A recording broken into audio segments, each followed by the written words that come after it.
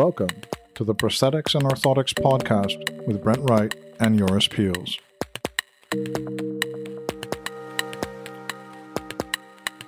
Hello, everyone. My name is Joris Peels, and this is another episode of the Prosthetics and Orthotics Podcast with Brent Wright. Hey, Brent, how you doing? Hey, Joris. Yeah, it's uh, it's good to be on. I'm I'm really excited about this one uh, today. So this is gonna be a fun one. Okay, cool, cool. So who do we have?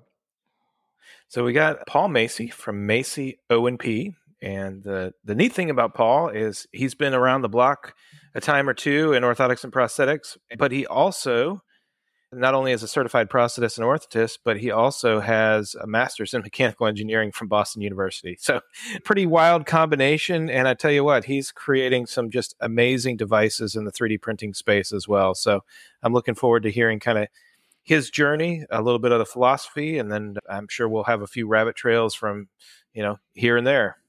All right. Welcome to the show, uh, Paul. Well, thank you. I appreciate it. And, and thanks for inviting me. You guys are doing a great job with these podcasts. They're really pretty fun to, to listen to. So thank you. Oh, thank you. Thank you very much. Um, so first off, how did you get started in O&P? How did you get into this world?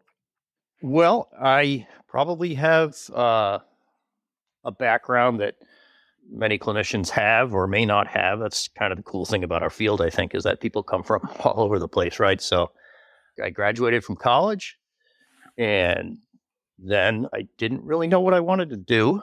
So I went to uh, work for a little bit and then I went back to graduate school. I was interested in engineering, but kind of maybe didn't realize that as an undergrad. Went into engineering and graduated and then got my master's in mechanical engineering and kind of went to working on helicopters that they make, blades and turbines and all kinds of stuff. And enjoyed that, but then I just sort of fell into the program in Newington, went to the Newington certificate program because I was looking for a change.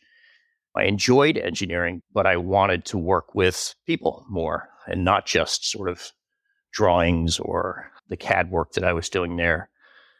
And my wife actually worked at Newington's hmm. Hospital, which at that time had the certificate program. So I was like one of the, I think I was the second year there and did that. And then I went to work for Newington. And then Newington was bought by Hanger. And then I worked for, I was practice manager for Hanger for 10 years. And then, then I worked for another company for 10 years. And then I started the practice that we have now. So it's kind of a roundabout route, I guess but we're finding that that everyone kind of takes a roundabout route. I mean, there's very, I mean, uh, everybody kind of takes a roundabout route to get here. I think it's, it's a it's a take, and this industry is super diverse in terms of the type of people that work there and the backgrounds they have, and, and the reasons they have for joining it, and all that kind of stuff. Well, I think that's true. I mean, and and I think I think that that is a really good thing because people come into this field with all kinds of different perspectives and talents, and you know. Um, that that's what's kind of amazing about I think the people that we work with and our coworkers and and our you know different companies that provide the services to these patients. I mean, you know, it, it's a value to the patients when clinicians come in. I think with lots of different experiences. So it's a good thing. Yeah, and, and what did you find? Uh, we do also notice that if there's one commonality, there's a lot of people that like like that are rather concrete, kind of like to do things with their hands, or like to make stuff, or like to be involved in something that's actually like, you know, very very physical or very very real, as opposed to like you know giving PowerPoint presentations all day. Is that, is that kind of something that, that, that typifies you as well, or? Yeah, definitely. I mean, I'm, I'm definitely, you know, enjoy the hands-on work, and I, and I, I like the fact that everything we do is different. So, you know, I, I remember 30 years ago, I would be working on a mold in engineering. And, you know, you could work on a part or a part of the assembly line or something for years. You know, you could be working on the same sort of thing for, uh, you know, many years, optimizing it and whatnot. But the beauty of our field is that we are constantly working on you know a new patient, whatever new patient sort of walks in the doors. That's one of the things that attracted me, um, attracted me to the field. So I think that's for me anyway. That's that's just really exciting because I mean I I don't really think you can say that this job gets boring. So, Paul, you know, one of the neat things that I've seen kind of you do not only is it really adopt this digital technology, but it seems like your your practice is growing too. Can you share just a little bit about kind of your philosophy and and how not only are you you getting people kind of in the door and f- helping them fall in love with the prosthetic and orthotic industry, but then what is your philosophy as far as moving them into the digital space?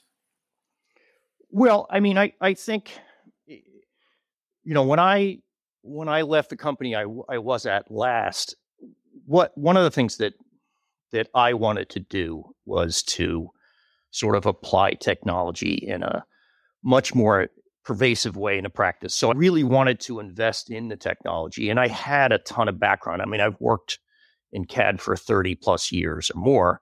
I mean, I had already worked in CAD in my previous companies, but I but I only was really working a little bit in CAD because I couldn't control the funding and the investment decisions and those types of things. I remember way back when, I mean, it was years ago, but the first program that I ever remember was this 3D printing system called Squareshape. I don't know, Brent, if you ever remember that thing, but I remember yeah, that was like, yeah, it was 20 years ago or whenever it was. You could 3D print a socket way back when, and the machine cost, I don't even know, half a million or something, and it would take five days to print a socket or whatever. But I remember thinking way back then, well, you know, this all th- this is fantastic. Like this all makes sense. This is exactly what I wanted to do. 20 years later, I think the technologies have become available to all of us where we can do that. So I guess to answer your question, I kind of set out to create create that system or create the way to to treat patients and try and really utilize CAD at a much more in depth sort of way than I was able to do it previously. So we basically invested quite a bit of money to learn how to do all of these processes. And it just kind of took off. I, I think I, I think the younger generation of clinicians certainly is very excited about concept of CAD and and and there's all kinds of buzz about it right now. So it lends itself well to new students who are far more intelligent than than I ever was, and that and that many people are. They seem to get smarter every year. So I feel like it's sort of a natural thing that needs to come into our field. And and and so when we started the company, what we came up with was a motto that that is essentially custom care with you in mind. So the symbol is a snowflake. So my mother used to always say, everyone is a snowflake, you know, no, no two are alike. And I really feel like we do that every day. But for us, the ability to utilize CAD to sort of create specific designs for people in a different way lends itself beautifully to that. I remember when I was first learning the guy that was modifying the mold would say, okay, we'll just take that down a skosh. And I, I said, what? And he said, he kind of held up his fingers and they were an eighth inch apart. He said, skosh. So what's a skosh? He said, so I didn't know the term. And he said, that much. I said, okay. So I, I whittled away at the mold, what I thought was a skosh. But my, my point is, I just love the idea of in CAD, knowing exactly what you're doing and when, and then having it sort of be repeatable. But then, and, I think yeah. that people like that too when they when they sort of see what we're doing. Yeah, but then if you've been involved in CAD a long time, you've been involved in CAD when it was like horribly slow and terrible, and and you know a lot has changed right over that time. Oh yeah, yeah, I mean, we used to, I learned on ShapeMaker, at least in this field, although I had done more sophisticated CAD programs, but, but I sort of, I set out to really try and utilize what I knew from an engineering perspective and look beyond O&P CAD systems. Nothing against the CAD systems that exist in our field, but I really wanted to dive into it quite a bit deeper. So we invested in some engineering programs like Freeform and others where uh, where I think the CAD systems that are available to us now today are just far greater than than what they were. In addition to obviously the 3D printers, which is a whole disrupting sort of evolution that's happened in the past five years. So, so there's a lot more available to us, I think. Can, can you talk a little bit about your journey? Because Geomagic Freeform wasn't your first your first rodeo, right? So how, how did you land on on that? I mean, you talk about a little bit of freedom of design and creativity and all that, but can you just share with our audience that may be looking for options why you chose the route that you did? Well, at the time, this is six years ago or so, I just had done a bunch of research. I had researched all the available O and P CAD packages and then also looked at engineering packages that were available. One of the things about our field is that it is forever that combination of beautiful precision associated with a modification that you can either do by hand or by CAD, coupled with art. Freeform itself has as has a has a haptic device where you can actually use this device to quote unquote feel the mold on the screen in CAD. So when I tried this system, I was just sort of blown away and I thought, okay, well this this makes sense to me. This is just an extension of my hands on a rasp with a with a plaster BK mold in front of me where I'm whittling away material. It just sort of made sense to me from my experience. So I just kind of at that time took the plunge. I, I mean, I literally just invested in it, and just at that time, there, there nobody was doing it, and so I just taught myself because I had I had the experience. So it it turned out to be a really good decision f- for us, for me. I mean, maybe not for everyone, but but for me, that program just fit with what I wanted to do. I mean, the program itself was very often used for modeling clay and, and sort of doing work where when I think clay, I think plaster. I think there's similarities there. So it just sort of was a nice merge for for what we were doing. But I did not have at the time anyone out there doing it. So I couldn't say, okay, well this, you know, this is obviously being used by anyone else. Maybe you were doing it, Brent, at that. I don't know, but I just kind of fell into it and learned it. So it's it's worked out quite well. That's that's really neat. I, I, and I don't. I mean, what year was that when you when you started? Well, it was six years ago, five years ago that I started with that software. 2017, yeah. 2018, something like that. Yeah.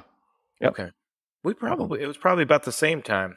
Boy, just I would have learned a lot faster if I would have hooked up with you. That's for sure. Same here. I mean, I honestly, I found out that you were doing stuff when you started posting. I was like, wait a minute, somebody else is doing this, and they're CPO. This is unbelievable. So it's pretty exciting stuff. And I know there are others now out there using this program as well. And, and what's your workflow like? Does it differ a lot per prosthesis per per, per device, or? Well, we we basically scan the limb, the residual limb, and we we bring the scan in to uh, the CAD system. And then we modify. So everyone has different opinions on scanners and programs and what you should do and what you shouldn't do. I personally see a ton of value in in scanning, bringing the scan in, and and we modify the mold from there using the software.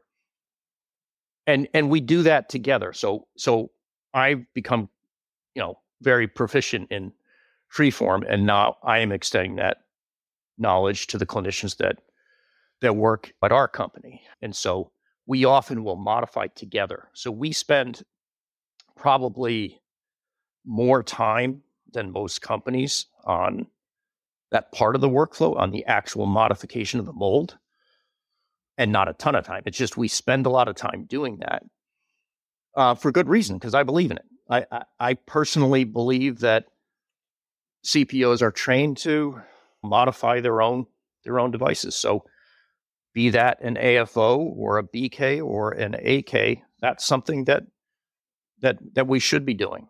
And not, you know, many places in our field, I think that that doesn't happen, right? I mean, you you you take an AFO cast and you put it in a box and you send it out. Well, we we do that sometimes for some of our things, but for a lot we don't. We we modify it specifically and then maybe send it out to be fabricated or we design it ourselves and send it out to be printed. But I, I, I guess what I'm saying is I, I personally feel that one of the one of the goals that we've always had was that we want to be able to modify. So we feel that that there's ownership there. Right. So if if the clinician is modifying 100% of their socket or uh, aware of every aspect of it, that that's how you learn, right? So, so by the clinician modifying it, they know how it fits and they know exactly what they need to change, and it's just something that is, I think, obvious, but I think in our field it often may not happen. And I lo- I love that, and yours just just to give you an idea. I mean the most of the time, or a lot of the times, this idea of centralized fabrication happens where you will send your work to somebody else and they end up doing it. So there's also central fabrication as far as the actual making of the device, but there's also central design where you may actually send a device out that is modified by somebody else, which is a is an interesting model as well. I think one thing that's neat about Paul though, and I think for our field in general is you have to know what the cause and effect is on what you do. So if you if you modify something and you modify it wrong and it doesn't fit, it's on you. So there's an old joke kind of in our field like if you make a device and it doesn't fit, you can blame it on the technician, right? It's not your fault. But if if your hands are in it and you are the one making the device, then it becomes your fault.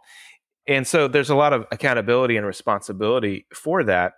And I think it also places a, a more importance on the clinical idea of this is the device, the prescription, right? The, the, type of device that I'm going to make for the patient. And then we're also going to fit the device. And so that combination is is super important. This idea of fitting what you've made is really foundational to the orthotic and prosthetic world. And I think a lot of other companies miss out on some of that. Now, just like Paul said, there are sometimes that you can send out your device and you get something back and you fit it and it and it works out okay. But there is a sense of for some of these devices that you need to be hands on. It needs to be all hands on deck to to fit appropriately. And I think some of the software companies and such uh, forget about the role of the clinician in all of this. And I think just stepping back for those companies and and those that are listen to this podcast, the the companies, is don't forget that on the backside, a clinician has to fit these devices and it's important for them to interact with it. The more that a clinician can interact with software or the fabrication side of things, the more skin they have in the game. And I think that's very important. Yeah, I, I mean, I, I couldn't agree more. Accountability and just sort of ownership of what you're delivering is absolutely massive. And I and I and I truly feel that that this process that we've created for our Ks, AKs, AFOs, and other lots of other devices that we do allows us that in a much more sophisticated way. Now, can a clinician who has a great relationship with a technician in his office in a lab come out with unbelievably fantastic outcomes? Absolutely. That's that's absolutely true. And so I would never get into oh anyone can decide whose socket fits better. Or no, that's not the point. I, what I'm trying to do is is create something whereby we know what we delivered, we own it, and if we screw it up, it's my fault. I, I love that. I, I'd much rather have it be my fault, or the concept of unpacking the box and taking the leg out and just looking at it and saying, that doesn't look like my alignment. I, I don't know. And, and I know that when when we take stuff out of the box because we outsource the 3D printing of our definitive sockets and stuff, that my alignment and my socket fit is exact, like to 0.00001, whatever. So for me, it's it's just taking those sort of doubts out of the process and just making it more efficient. So kind of a, I'm kind of addicted to that. And the process for me, I just I couldn't I personally could never practice any other way, having sort of done it successfully this way. And and that said too, when you go ahead and fit something that I've designed in CAD, sometimes we blow it, right? It doesn't fit that well. And that's okay because I can go right in on CAD and then look at my overlays and modify it the way I should have modified it and remake something, but not have to start over. So I have the whole history of it. So just just my engineering brain and, and the efficiencies of that just just seem to to make sense. But then the corollary eh, corollary is, of course, that you maybe are less profitable or less efficient than other businesses. Or do, do you think that that's it? Well, it, it definitely seems it's a trade off you're willing to make. But I think a lot of people listening to this are thinking that's that's a great idea philosophically but it's much faster and cheaper for me to outsource. And it'll you know nobody will notice in the end kind of thing right? Yep absolutely. And and that's where everybody has to make make their own decisions and so forth. I i i think at this point with the insurance companies dictating lower reimbursements and so forth coupled with costs going up so Uh, just recently last week. I mean, I got the what was it the the ten percent increase by Össur and the six or whatever increase to Ottobock. Prices for that we have to pay are going up, so our costs are going up. So I feel like we can't control our reimbursement necessarily, right? I mean, it is what it is, depending on your contracts and so forth. And our costs of goods are going up. So, you know, that that squeeze play is not sustainable.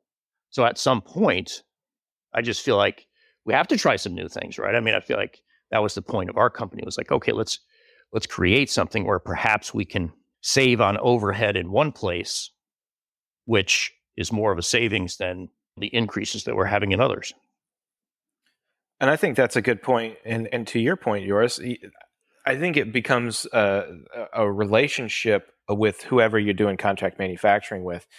But I think what Paul is kind of speaking to is controlling what you can control. And one of the things that you can control is uh, your fit of your device. And so if you're able to control that and it takes you less time in the end, say, if, unless you send something out to a contract manufacturer and you get it something next day and you don't have any skin in the game, but it takes you an hour to fit it because it's not quite the way that you would do it. Whereas it would be a, a 15 minute appointment if you had done it and done it in house.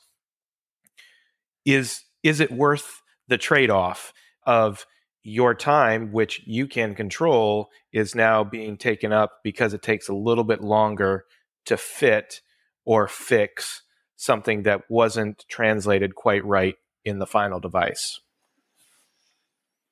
Yeah, and I mean, I, I think you know it's like anything too, where you know, of of course you're going to have some sort of redos in the beginning and all that, uh, but I mean, I we know what we know, right? I mean, everybody knows how their companies work and so forth, and honestly, we have little to no redos, so our redo cost is very very low, and we and that's because we've gotten very comfortable with what we can do with CAD and how we can fit things we're not perfect, but I just know from a business perspective, I am the one that pays the bills and that we don't, we're not remaking or redoing things. We've really gotten it down quite well where things can get delivered in a very confident way and, and not have to spend money on redoing something or following up. It doesn't mean we want to, don't want to see the patients. Obviously, we want to follow up, but we're not having to do a whole lot of time involved post delivery.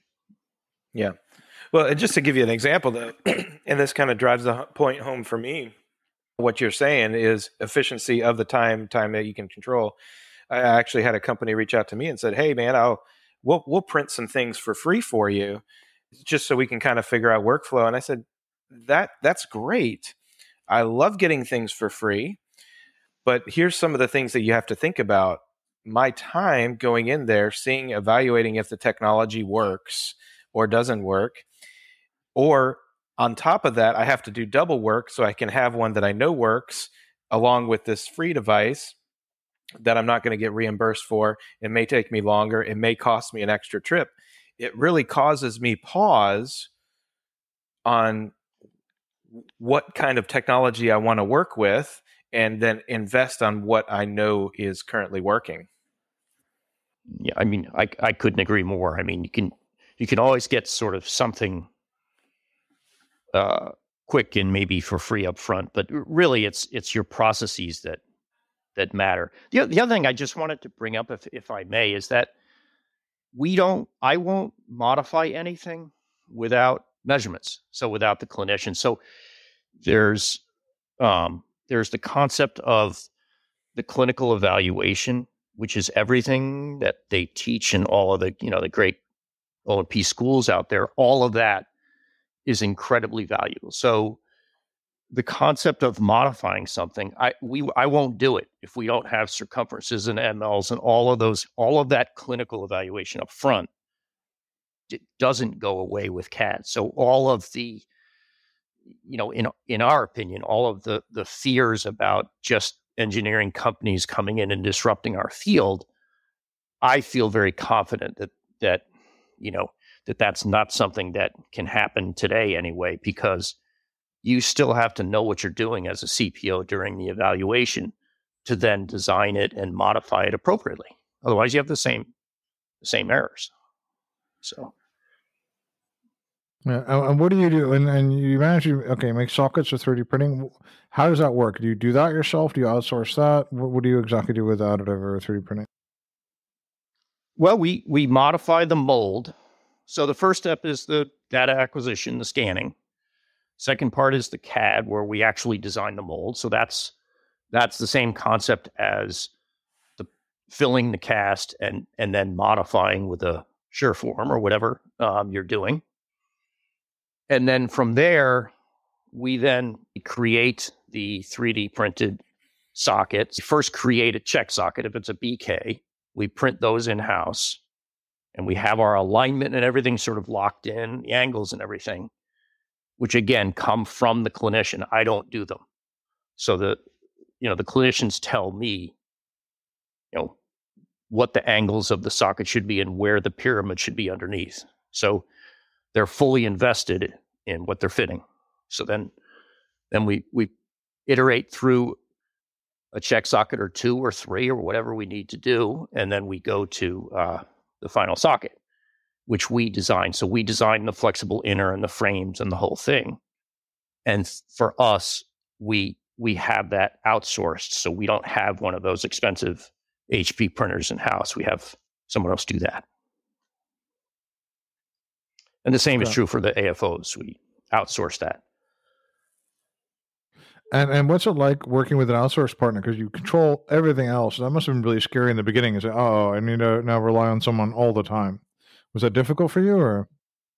Not really. I certainly have been in the field over 27 years or whatever. So I'm used to having someone else make something.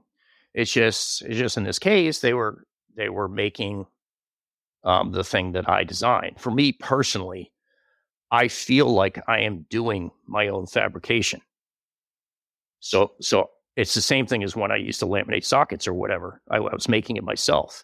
Those always fit the best not to sound whatever, but the ones that I made, I always felt were kind of perfect because I had my hands in everything. So, so when I design the socket, I feel like I'm fabricating the device in my brain, which I love because I can be creative with it. I love the creativity of the CAD and the, the reliefs. And I knew in my head that this person had a fibular head, for example, that moved around. So I wanted to make the pocket a little bigger. All those things, I, that's what gets me really excited about it. Is I can dial in exactly. and then I'm fabricating it virtually. My jig is a virtual, it's a virtual jig. So I fabricate the thing. I mean, I'm just sending an email to a guy who's pressing print essentially. So the stresses involved in opening the box when I get the thing back are actually far less than anything I've ever experienced. I'm not sure if that makes any sense, but it's, well, it's what us, excites me.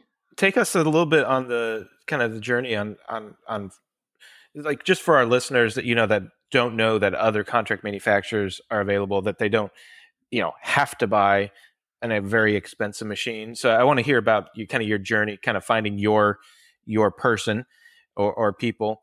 But then I also want to hear, you know, uh, and I know you have I talked. Uh, it doesn't always go as planned, right? Uh, machines go down, multiple machines go down, all that stuff. So how you know we want to get we want to paint a very positive but realistic picture of hey things happen even in the 3D printing world that may throw off a timeline or two. Yeah, absolutely. It's it's a machine that can break. So using a manufacturer that has more than one machine obviously is a good idea because if one goes down the other one can print or whatever but that always doesn't that, that doesn't always happen if you think about it this technology and these machines I mean, what are they, Brent? Five years old? I don't know. I mean, I know they've been developing them longer than that, but th- things things do break, and you have to remember too that to own one of these machines, you're you, you've got to keep it busy. So you have to pack it with builds, and you have to be producing all kinds of parts. So our sockets might be mixed in with a door handle or whatever else. It's in the interests of those that own those machines, those high end machines, to keep them busy, keep them running. So things can break. And so I have had times where, okay, I'm supposed to have a one week turnaround on my socket, whatever it is. And it, I've had times where it's taken two weeks. Don't think that that's much different than the regular O and P world sometimes. I don't certainly don't think it can compete with having your own technician in house that can laminate something overnight or whatever. But for me, that's not important. I, I don't I, typically, if I need something very quickly done very quickly, I can do that. And we do do that. And by the way, we still use regular laminations and so forth. It's we're not 100% CAD, but but but you're right, Brent. It's it's not perfect, and it's not like the perfect world at all. I mean, things do happen. So, but that's O and P. You know, um, when when you were looking around for your contract manufacturer or a partner to do this stuff, I mean, what were some of the things that you looked for, the questions that you asked, or how how did you know that you kind of landed on somebody that you could you could work with? Well, uh, you know, I mean, you ask the questions of how many machines you have, what's your throughput, what's your what's your turnaround, and you know, how do you inspect your machines and how do you clean them? I mean, obviously, I think these machines are difficult to own and and you would know better than I, Brent, but they need to be kept clean and maintenance needs to be done on them. And if it's not, you can have problems. So for me, I wasn't a scientist about it. I, I don't, you know, I don't know a ton about these machines at all. I know, I know what I know, and I, I, I know that I also tend to trust my gut on working with someone like Any-Lab that is just responsive, that has good customer service, which I've definitely found now, but I went through a few to figure that out. And so it's all those good business decisions that you have to make, but certainly quality and reproducibility and what is your plan if your machine goes down kind of thing. Those are those are the questions you need to know besides the obvious ones of cost. These sockets are going to be as expensive, maybe more expensive obviously more expensive than if you just laminate something in house, but then you're paying for the overhead. You could go on and on with the math and the comparisons, but you just have to be comfortable with your own process, I guess. And and do you think that that you know is is 3D printing just going to be a tool we use? Is it one of them, or is it going to be a super important tool? It's going to like every single time expand a little bit more, a little bit more. It's going to get a little bit better and cheaper until it makes up a, a significant portion of the work that the, the, the O&P industry does. Yeah, I, I mean, I, I do think that it's here to stay and it will continue to grow. I mean, for sure, it's it's it's obviously done that quite a bit in the past past couple years. You know, it's interesting because I I firmly believe that it's it's actually the the best way to teach a student.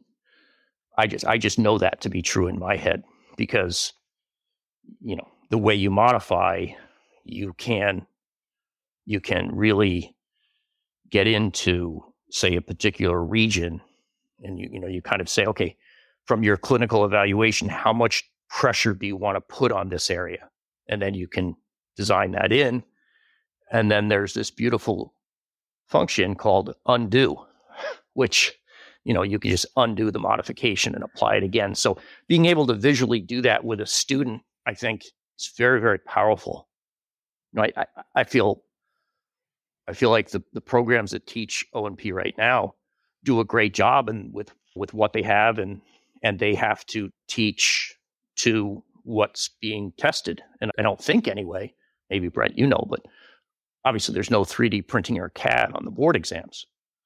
So right. no. and you can't do a, a, uh, undo on the board exams either. no, you cannot. yeah. So I mean it's, you know, that's I think that's a thing that's that's coming, but but because because it's not on the board exams, it's it's how is how is it then going to make it into a curriculum of an O&P program? It can't. I mean, no offense to any of the programs, they're doing a tremendous job teaching all the skills that students need to have. But clearly, I I think if and when that might happen, then perhaps it gets taught in the schools. I, I think that's that's going to happen. I don't just don't know when. And and as a result, what's happening is all these engineering companies are coming into our field and wanting to automate something and then have companies pay a subscription for that service. And I, I for for me, that's not the way to go. I, I believe again, still owning the modifications and sort of doing the upfront stuff yourself as is is the best sort of outcome for the patients. It's just kind of my thought. Okay. And how about like how about just the market? Because we were talking about that in the last episode. Like, do you think you seemed like before you were kind of like, you know, looking at the the the, the, the insurance situation, costs rising. You seem quite somber about you know the independent O&P office, if you will, the small the slash mom and pop at the small local office. Is, is is that true, or are you just like saying it's going to be a really tough world out there for for for small independent O&P practitioners, or? Um, I I didn't mean to be somber about it. I mean, we're doing well, and I I believe there's a place for small mom and pop practices like ours. I think I enjoy the the independence of it all, and and the concept of being able to to we can invest and decide in whatever technology we want to do and then apply it. So I'm not saying bigger companies can't do that, but certainly at scale, I'm not sure we're there yet for Hanger or a large company to uh, to implement these programs yet. I'm certain they're working on it, but but I think there's value for O&P. I mean, the O&P. How many? What percent of our field is small business? And I would say it's, it's still quite a bit. Oh, maybe over seventy percent, or I don't know what the number is, but there's yeah, I would say somewhere in there, 60 to seventy percent. Yeah, so that I mean that that's a big number of our field, and I I, I don't think that's going to sort of change overnight. And there are many small businesses getting into uh, CAD and 3D printing through learning about it through podcasts from you guys, for example, and, and lots of other social media places like Brent, your posts and everything. So I feel like there's a lot of buzz about it. And so um, I think also clinicians, as they come out more and more, just aren't afraid to press the keys on the computer to just try stuff. And it's natural for them. How do we not develop CAD more and, and in small businesses as well? That's incredible. We, we were talking on the last, so the last episode was about Hanger's acquisition of SureStep and Transcend. And we talked a little bit about how the reality is is that small business right now is it's a perfect time to be involved in the kind of this digital manufacturing age and such because you have I don't want to say you have less to lose, but you have less to lose, right? So because it's not a, such a big company, when you when you try certain things and you can have more control over say a clinician that you're working with on one specific device or choosing the patients. Would would you agree disagree with saying that it could be a, a, a true competitive advantage to a small business right now to kind of hop on the bandwagon at, at, eh, in a time where some of the larger players are a little bit skittish on going all in on the technology? Absolutely. I mean it absolutely it just it's just like anything though you i think you have to have the right sort of attitude about it and you have to have the right commitment and support from whoever owns the business to go into something. I mean that sounds obvious and it is but but it really matters in cad because it may take a while it's going to take some money. I know that you can get into cad cheaply by starting out and that's a way to start for sure. So it's not nearly as hard as it used to be, if that makes any sense. At least I don't think so, Brent. I mean, I, I think it's easier to get into doing it now than it was, say, five years ago, for sure. The the resources that are available are amazing, and there's there is a lot of low cost options available, so you can kind of figure out figure it out. Yeah, and, and and also you have to. I think being smart about where you apply it matters. So, the, for example, we have an expert in scoliosis, and she's been doing it for many years, and she's excellent at it. She's she's one of the best in in anywhere, and she has a process with the company that she uses for her Scoli modules, which I, I don't mean to make a pitch anywhere one way or another, but so she uses that very successfully.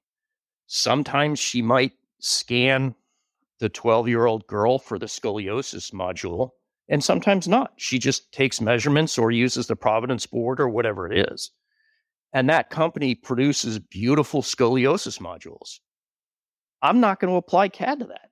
Why? It's a processes that are work that work very well that when I look at it, I say, okay, I can apply CAD to that process but it's not necessarily going to result in better quality. And it probably might not be less expensive, it might be more expensive. So I think tailoring CAD to where it makes sense within your business is critical. Yeah, I think that's a, that's a really good sentiment. I think I think that's a really good to just not run rush fully into it and do everything CAD and and and but also I think I think uh, I would agree that now is the time to at least investigate this. I don't know if it'll work for you. It also depends on how your mind works and and and what you do exactly. But I think it's it is a time to explore this. Thank you so much for being here today. You're welcome. Yeah, you're welcome. And and Brent, thank you for being here as well today. Oh, this was great, and it was good to hear kind of Paul's journey. It, uh, kind of fill in the blanks for me. So this was great. And thank you for listening to the Prosthetics and Orthotics podcast. And have a great day.